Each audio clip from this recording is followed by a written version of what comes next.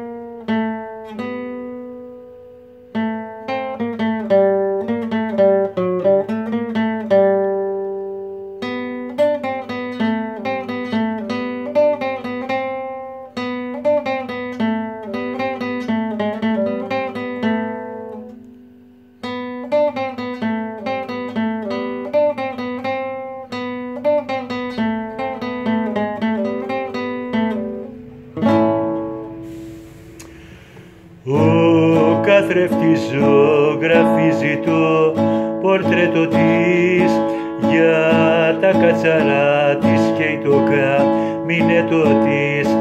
Φιγουρίνι ξεφυλίζει για ένα φορεμά ντεκόλτε να φανερώνει τα άσπρα της λεμά να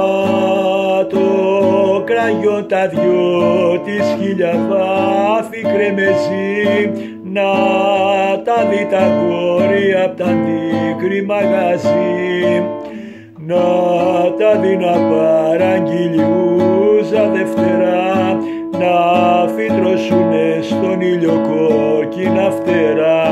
Κόκκινα φτερά στον ήλιο και καήκανε οι δραγάτες στο περβολημένο βγήκανε. Μέρα φεύγει κι άλλη μέρα κοίτανε σαψές Νύφικο που το έχεις τάξει και δεν το ράψες. Προπολεμικιά φρεγάδα με τα όλα της.